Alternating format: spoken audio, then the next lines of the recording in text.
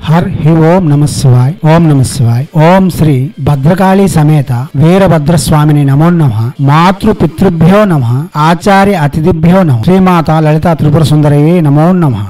శివశక్తి స్వరూపులారా మనం ఆదివారం అమావాస్య పుష్య నక్షత్రం కలిసి వస్తుంది. ఈ రోజు ఎటువంటి యోగములు చేసినా సిద్ధులు చేసినా అతి శీఘ్రంగా ఫలిస్తూ ఉంటాయి. అయితే ఇటువంటి అతి ఉత్తమమైన సమయమును అతి శక్తివంతమైన దైవ ఆరాధన లేక జపములు చేయట చాలా విశేషమైన ఫలితములు ఉంటాయి. ఆగస్టు ఎనిమిదవ తేదీ ఆదివారము పుష్య నక్షత్రము ఆదివారము అమావాస్య. ఇది మంత్రయోగములకు తంత్రయోగములకు కాగా ఔషధ యోగములకు చాలా ప్రసిద్ధమైన దినముగా శాస్త్రములు చెబుతున్నాయి. దివ్యాత్మ స్వరూపులారా. అయితే మీరు కాళీ సాధన చిన్నమస్త ధూమావతి ఇటువంటి శక్తివంతమైన సాధనలే కాదు ఔషధ యోగమునకు సంబంధించిన శత్రు వినాశన లేక కామ్య కర్మ ఫలప్రద సాధనలు ఏవైనా చేసుకోవచ్చు. ఇటువంటి శుభతరుణంలో మనం అతి విశేషమైన అతి శక్తివంతమైన మంత్ర సాధన ఒకటి చెప్పుకుందాం. శక్తులలో తంత్రయోగ సాధనలో భైరవుడే శిఖరం. భైరవులలో కాలభైరవుడు వీరభద్రుడు బటుక భైరవుడు చాలా శ్రేష్టోత్తమైన శక్తివంతమైన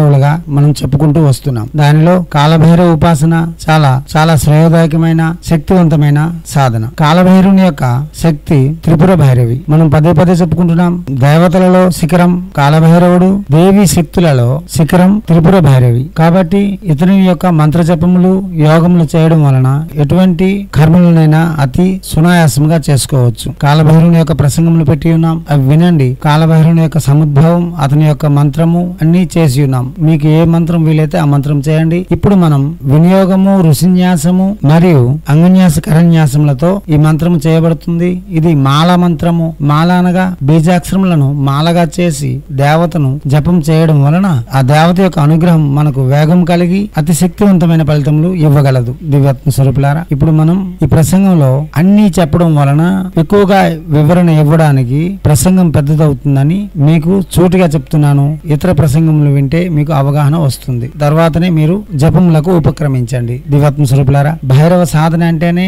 అష్టమితో ప్రారంభించవలసినది. కృష్ణపక్ష అష్టమి చాలా శ్రేయోదాయకము దక్షిణాయనం కూడా చాలా శ్రేయోదాయకం దివత్మ స్వరూపులారా ఇప్పుడు ముందుగా దేవతలు భైరవుని గురించి ఏమి చెప్పున్నారో అది చెప్పుకుందాం. దేవవాచ. దేవేశ భక్త సులభ దేవ నాయక వందిత భక్తానాం కామ్య సిద్ధ్యర్థం బ్రూహి తత్వత. వినైవ న్యాస జలేన వినా భవేత్ వినా కాయాది క్లేశాన వినా జాప్యేన ఈశ్వరా.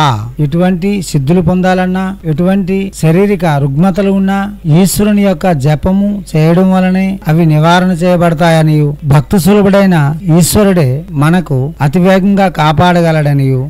భక్తులకు కాపాడడం కోసం ఈశ్వరునికి మించిన దేవత లేరని ఈ శ్లోకం యొక్క భావం. భక్త సులభుడైన శివునికి భైరవ రూపంలో ఉన్న శివునికి మనం ముందుగా ధ్యానం చేద్దాం. అందుకోసం ధ్యాన శ్లోకం చెప్పుకుందాం. కాలభైరవుని యొక్క ధ్యాన శ్లోకము బంధుకాభమం భూషణం శూలాబ్ద హస్తోజ్వలం టంకం సూత్రవరం సుపాస సహితం దంష్ట్రాకరాళస్యకం వామే కుంచిత పాద ముద్రుతాతలం కలస్య వక్షస్థలే చిన్న భిన్న జటాధరం గిరిజాయ యుక్తం జగద్దైవతం ఉద్ధృతం వామపాదం తు కాళ వక్షస్థలే స్థితం సవ్యపాదం లింగమూర్ధ్ని స్థితం రౌద్రముఖం భజేత్. ధ్యాన శ్లోకం యొక్క భావము. శ్రీ కాలభైరవ మూర్తి మూడు కండ్లతో నాలుగు చేతులతో కోరలతో భయంకరమైన ముఖంతో చెదిరిన జటా జూటంతో గిరిజాదేవితో కూడి ఉంటాడు. కుడివైపు కింద నుండి త్రిశూలము టంకము ఎడమవైపు పాసము పద్మము ధరించిన నాలుగు చేతులు గలవాడు అయిన శ్రీ కాలభైరవుని ధ్యానిస్తూ ఉన్నాను. దివాత్మ స్వరూపులారా భగవంతుడు భయంకర రూపం దాల్చింది దుష్ట శిక్షణ శిష్ట రక్షణకే గాని ఎవరిని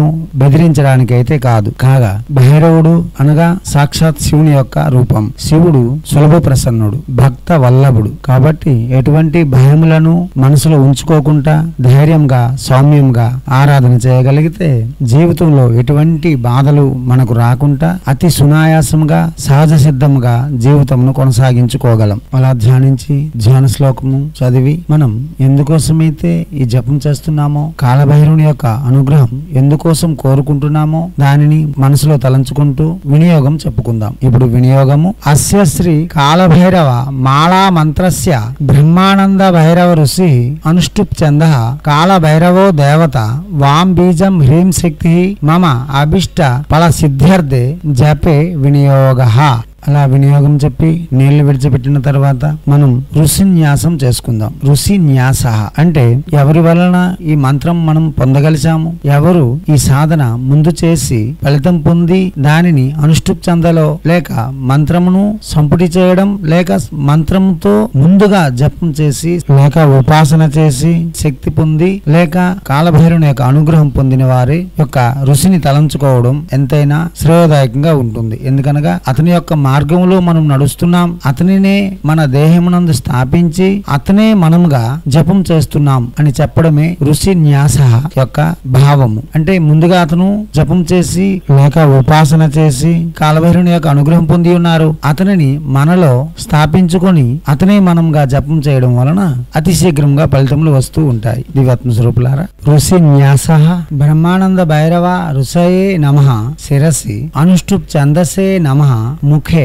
కాల భైరవో దేవతాయై నమ వృద్ధి వాం బీజం నమ గుహ్యే హ్రీం శక్తయే నమ పాదౌ వినియోగ నమ సర్వాంగే వ్యాపకం కుర్యాత్ అలా ఋషిన్యాసం చేసి శరీరంలో అతనిని స్థాపించి భావన చేసి తర్వాత అంగన్యాస హృదయన్యాసములు చేయాలి. అంగన్యాస హృదయన్యాసములు మంత్రం యొక్క బీజాక్షరములను మన శరీరంలో స్థాపన చేసి మంత్ర శక్తిని మనలో అవగతం చేసుకొని జపం చేయుటకు ఉపక్రమించుట అంగన్యాస హృదయన్యాసం యొక్క భావం. ఇప్పుడు అంగన్యాస హృదయన్యాసములు ఓం కాలభైరవాయ అంగుష్టాభ్యాం నమ హృదయాయ నమ. ఓం వాం కాలభైరవాయ తర్జనిభ్యాం స్వాహ శిర శిరసే స్వాహ. ఓం హ్రీం కాలభైరవాయ మధ్యమభ్యం వసట్ శిఖాయ వసట్ ఓం కం కాలభైరవాయ అనామికాభ్యాం హోం కవచాయ హోం. ఓం భాం భైరవాయ కాలభైరవాయ కనిష్ఠికాభ్యం వవసట్ నేత్రత్రయాయ వవసట్ ఓం కాలభైరవాయ కరతల కరపుష్టాభ్యాం అస్త్రాయ ఫట్. అలా అంగన్యాస హృదన్యాసములు చేసిన తర్వాత ఇది చేయవలసినది ప్రాక్టికల్గా చేయాలి. న్యాసములు అంటేనే ముద్రలు ముద్రలు చూపించడం. తదుపరి మనం ఏం చేయాలి? మాలను తీసుకొని ముందుగా కులదైవారాధన ఇష్టదేవత ఆరాధన గ్రామ దేవత దర్శనములు చేస్తూ శివాలయ దర్శనములు చేస్తూ జపం చేయవలసి ఉంటుంది. మద్యపానము మాంసభక్షణ పరస్త్రీ వ్యామోహం పూర్తిగా నిషేధం. ఎవరి వలన ఈ మంత్రం పొందామో వారిని గురువుగా ధ్యానిస్తూ అతనిని మనసు నిండా తలంచుకొని తర్వాత జపమునకు ఉపక్రమించవలసి ఉంటుంది.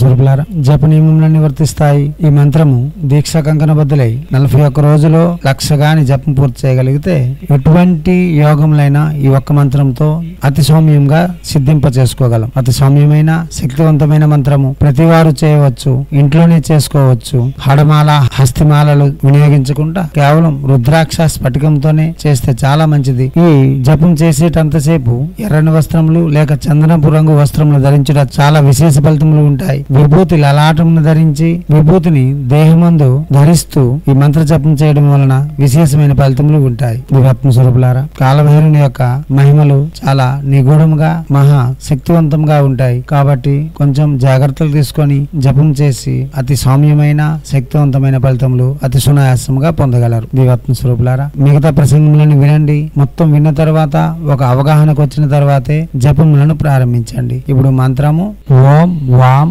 హ్రీం కం భాం కాలభైరవాయ నమ. దివాత్మ స్వరూపులారా ఈ మంత్రము చాలా శక్తివంతమైన బీజాక్షరములతో సంపుటి చేయబడిన మంత్రము. చాలా శక్తి శక్తివంతమైన మంత్రం. మంత్రం మరోసారి ఓం వాం హ్రీం కం భాం కాళభైరవాయ నమ.